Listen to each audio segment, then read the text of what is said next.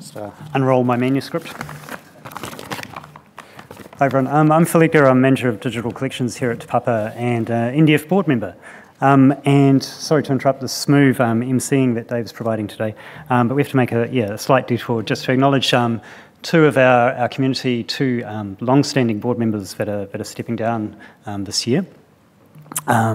So I'd like to, to acknowledge on behalf of the NDF board um, the amount of time and commitment that um, Andy Neale and Matthew Oliver have put into the organisation over the last five years. They've both been board members for five years. Um, Andy was the chair of the board for two of those years and conference convener for three. And Matthew has been the, um, the chair for, oh, let's turn it around. It's the other way around, isn't it? Anyway, they've both been, both been chair and conference convener in alternate years for the last five years.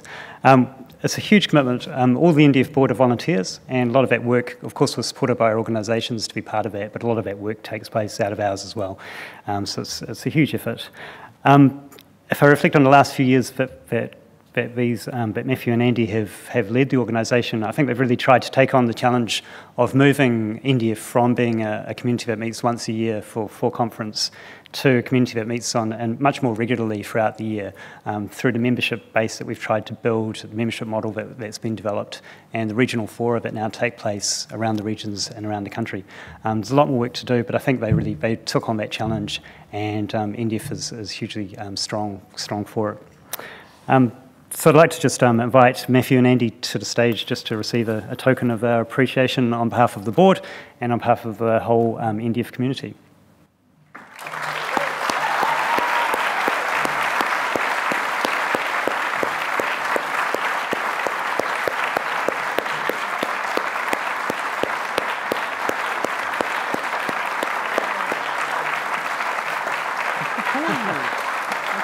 It's not a brown envelope. Thank you very much. Thank you, Paul. Thanks for um, Matthew's booked himself in for 15 minutes to say farewell, but um, I wonder if we could invite um, Andy just to say, say a couple of words um, before we pass over for Matthew for the closing address. You don't have to. But. I think I think I said that I wasn't planning to come back up on stage anytime again soon. Um, no, I just want to say thank you to all of you, um, and uh, it has been a real privilege to be um, working with the NDF board over the last five years, and I've personally gotten a, a lot from it. And all I'd say is I'd, I'd recommend um, at some point getting more involved in the organisation um, it's a really worthwhile thing to be doing. And um, love having you here, love these events, uh, and um, yeah, you'll still see me around. So thank you.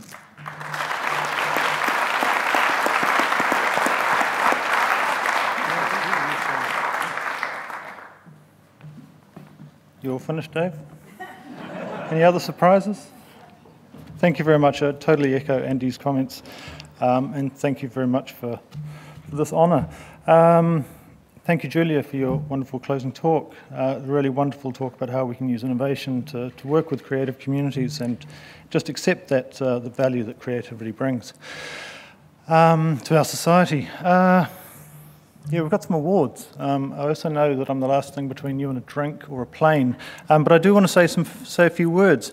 Um, first up, thank you all for being here for in what has been such a trying time for so many of you um, who probably a lot of nervousness about coming to Wellington. Um, I think it's a total testament to the, the quality of the, the, the quality of the conference, the commitment of the organisers, speakers, and all of you who are here together. I think your presence and the point of so much of what we've heard over the last days, last few days, just points to what's important, and that's people. Um, you know, it's both the people here and it's the people that we serve. Uh, so I have been involved with NDF for five years. I'm the outgoing chair. Um, I've done some, you know, met some wonderful people in this community um, and had the chance to do the sort of work that I never would have thought about.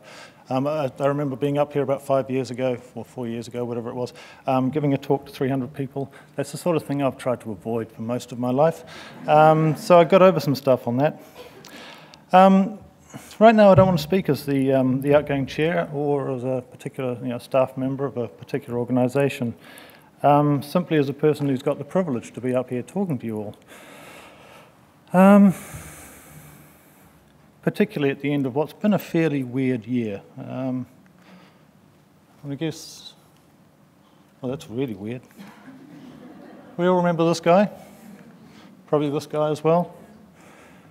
Sad events for many, uh, who I think you know, saw in them sort of creative genius that really spoke to the great variety of humankind.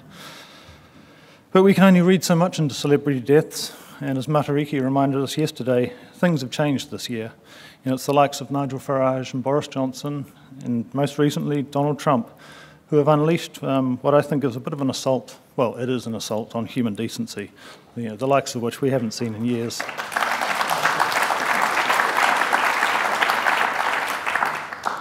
I guess we can argue about the future of parliamentary democracy or the validity of neoliberalism, breakdown of progressive politics, even. But I think what we can all see is a fractured, and, a fractured world of increasing inequality and division. And we watch it from afar and think we're not that affected, but we are. We have, after all, people sleeping in cars in our country. And we have you know, reports recently of increased racial abuse in New Zealand, you know, emboldened by events overseas. Just last week, Brian Tamaki, clearly trying to deflect a bit of blame from the Destiny Church, if, if you just listen to Richard Foy, um, he thought it was okay to blame natural disaster on sexual, sexual orientation, among other things. You know, it, it really is the sort of abuse I'd hoped we were putting behind us as a society. But we are part of a global community, and we share many of the good and the bad with other countries. This is the BAE share price reacting to Trump's election. That's the big spike. Um, you know, what does this say about potential for conflict in our world? You know, right now it's anyone's guess. Who knows what Trump's going to do? Um, but you know, it's a bit of a worry when the world's most powerful leader-elect inspires that sort of confidence in the weapons industry. Uh, voter turnout in the US, I'm sure these figures have changed since this was posted, um, but you know, over 100 million Americans didn't vote. Similar in New Zealand. Uh, think about, what was it, 20, over 20% didn't vote? That's 700,000 people. You know, that's big disengagement in our country. I'm not saying parliamentary democracy is the answer. Politics, maybe they're broken. Maybe we look at things like, you know, what Figure NZ are doing as different ways of, you know, build, rebuilding engagement. But what do we do? What do we as a sector do? You know, we're not about to solve homelessness or, or voter, you know, change voter patterns. But I think we can help and create a society that people want to belong to and we can reach out as a, as a society and invite people back in. I think we need to look at our organisations and really ask what is the work that connects us most strongly with all New Zealanders. I'm going to get some water. Sorry. Some, I think somebody else's. I've got yours as well here, Julia. Thank you. You know, are our education and community, community programs as good as they can be? What can we learn from the likes of, of Julia on that, that sort of work? And are we reaching the disadvantaged and the vulnerable and the forgotten? I think it was great to hear Robyn Hunt yesterday remind us that we're here for all people and we've got to make all our content available in that way. Are we providing spaces for people to tell their stories and valuing the contribution they make? I mean, I look to our regional organisations and the work they're doing out in the communities, and that's incredibly valuable. I think as a sector, we need to work out how to support them properly to do that, and then find ways that our national institutions can actually work through them as well and reach out. I think we need to see our role as central to working with communities and with people and doing all we can to halt, halt and repair the sort of social breakdown, breakdown we're seeing. And it's not all doom and gloom. I, I, shouldn't be up here giving a doom and gloom because it isn't that. You know, I think we're really well positioned to, to face that challenge. You know, I look at our Treaty of Waitangi. It hasn't been honoured properly in the past, but the reparations are heading in the right direction. Ultimately, it signals a commitment to partnership that we all need to honour.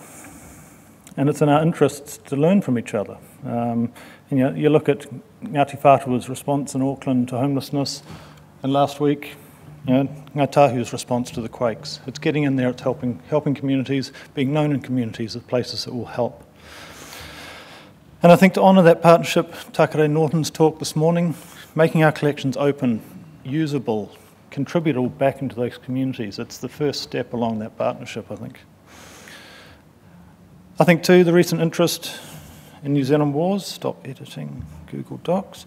Um, recent interest in New Zealand wars, it shows a real thirst to explore and understand and recognise and acknowledge what Māori suffered during the New Zealand wars and during the colonial period, and how, as a country, we can think about it and move on from it. 2018, sorry, I'm getting into commemoration space now, but 2018, 175th anniversary of suffrage, women's suffrage, I should say. Sure, it's a chance to celebrate you know, democracy and talk about voting and try to get people more interested in that. But it's also a chance to talk about income inequality, domestic violence, systemic sexism, and what we as a society want to do about those issues. These are the sorts of real conversations that our sector needs to be in. We need to be involved in them. You know, we need to think about the contribution we make to those conversations and how we nurture them. We've talked a bit about value and culture. That's important.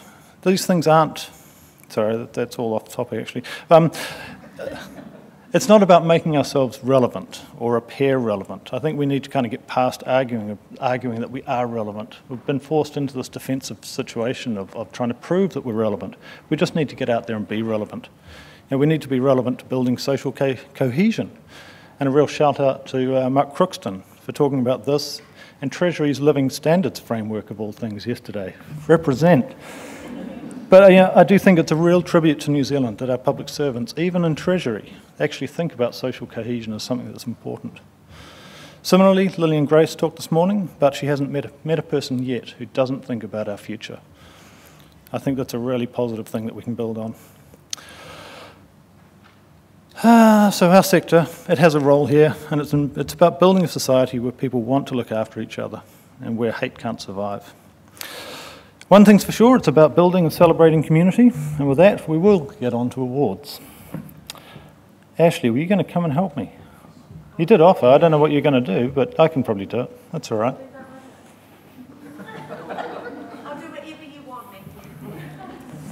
I was going to make a hashtag out of this. We stand up. I think we should be standing up. You guys don't have to stand up. People are winning awards We'll have to stand up in just a minute. So yes, second annual NDF Awards. Uh, we did it last year, and it was, you know, we gave each everybody a bottle of wine. It was okay. This year we've moved on to certificates and a bottle of wine. Um, we will give out certificates to the people from last year once we get them printed. So things are going up. Um, I'm just going to jump straight into it. Um, we have four awards that were nominated by you all, um, and Judges made a decision on the winners for those, and then two that you've been voting on, as you know, for the last few hours, last hour and a half, and I have those in my pocket. So, without further ado, the first award goes to Auckland War Memorial Museum for the Open Sesame Award.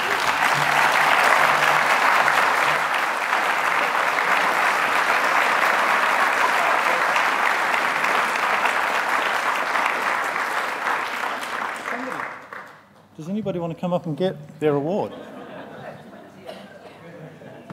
Do I have to post this out as well? Somebody, if you can't read, it's for undertaking an imaging and cataloguing project that will result in an open access program that I think all New Zealanders can celebrate.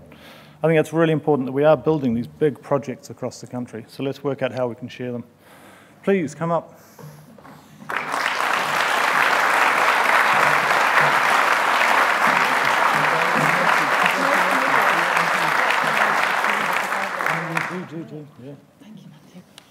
Um, thank you very much, NDF, and I just want to acknowledge my colleagues who actually do all the hard work. So this is for you. I'm just here collecting it for you. Well done, everyone. Thank you. Great conference. Have a glass of bottle of wine. Oh, wow.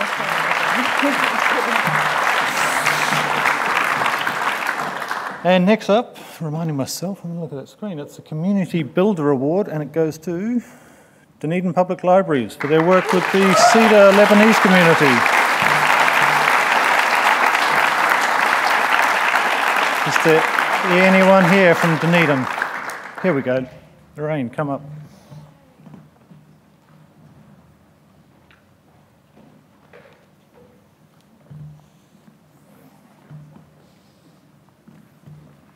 The mic is yours if you, if you want it. Um, well, the person sitting next to me will affirm the fact that my reaction was, oh my God.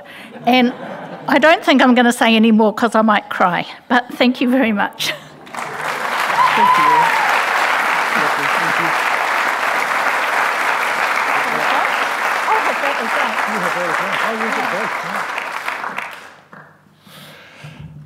Next up, the Great Collaborator Award. I think you might guess who this one is. It's going to Tusk Culture.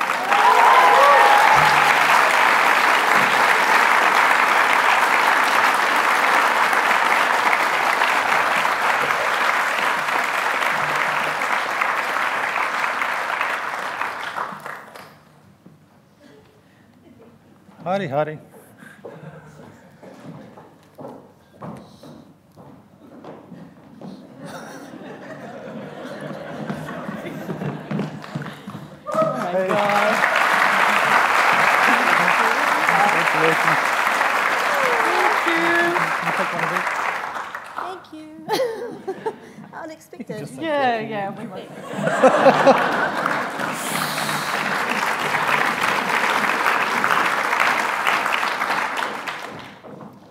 And the next award is for the Sharing is Caring Award, and it goes to someone who has been sharing her knowledge about copyright forever and doing a huge job, Victoria Leachman.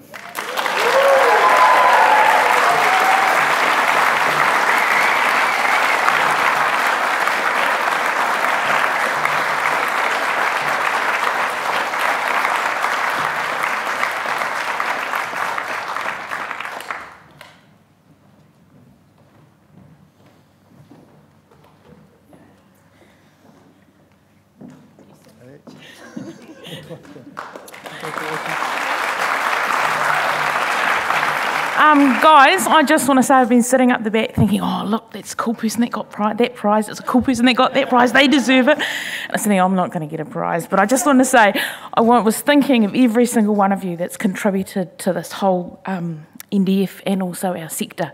And I just want to say, this guy, this one's for you guys.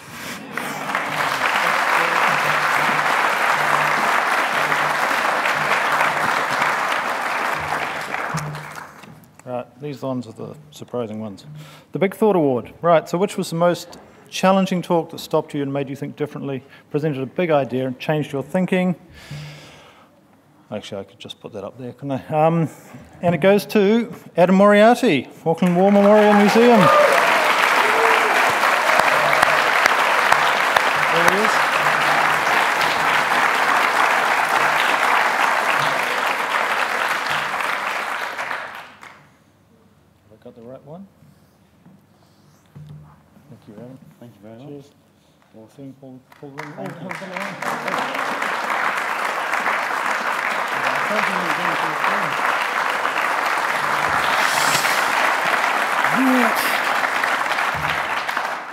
Right, our final award, the Big Takeaway Award, which talk has inspired you to try or something different. which, which will inspire you to try or something? Try, well, what am I saying?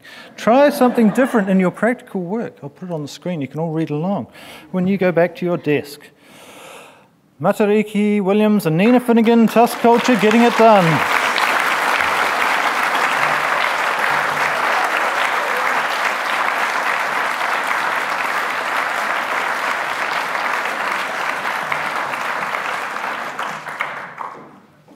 If I'd known, I would have said you could say up.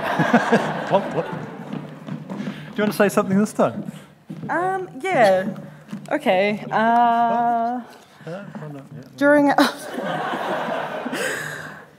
during our um, presentation, we did mention that Tusk was never about just us two. It was always about our community. So, really, this is for all of you guys, not We'll us. have one bottle of wine between you. Yeah. Thank you so much.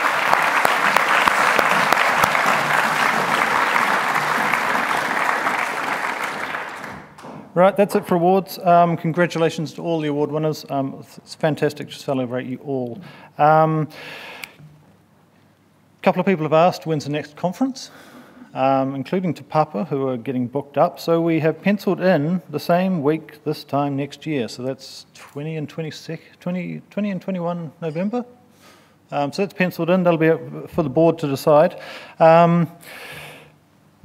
But put that in your diaries, and we'll see you back here. Uh, can't finish without many, many thanks. Uh, thanks to our hosts, Te Papa, Ngati Toa, and Te Atiawa. Thank you very much for the warm welcome we we received yesterday. Uh, I want to thank all the board members, all the volunteers, all the members who support us. Uh, Diane Weatherhead, our executive support, who keeps us all very honest, um, does far more than she gets paid to do, I'm sure. Uh, we greatly value that. The regional reps have done so much to get our, our work out across the country. You do a huge job, and we really appreciate you volunteering on that. Finally, to the conference, the whole team who pulled this together, led so well by Andy. You deserve all the accolades you've received today, Andy. Oh, okay, I'll stop, right? Um, but all of you, all the people who've, who've contributed, volunteered to run this conference have been wonderful. Uh, Dave's talked about our sponsors and trade partners. We wouldn't be here without you. Most importantly, all the speakers, new and old, near and far, you've given us so much to think about. And of course, you, the audience, for being so open and enthusiastic for new ideas. If I've left anyone out, I'm really sorry, but I'll buy you a drink at Mac's Brew Bar if you'd like. It's just 200 metres that way, I think. Um, so please do come and have a drink if you don't have to get away anywhere. Uh, see you there or see you next year. Thank you very much. That's it.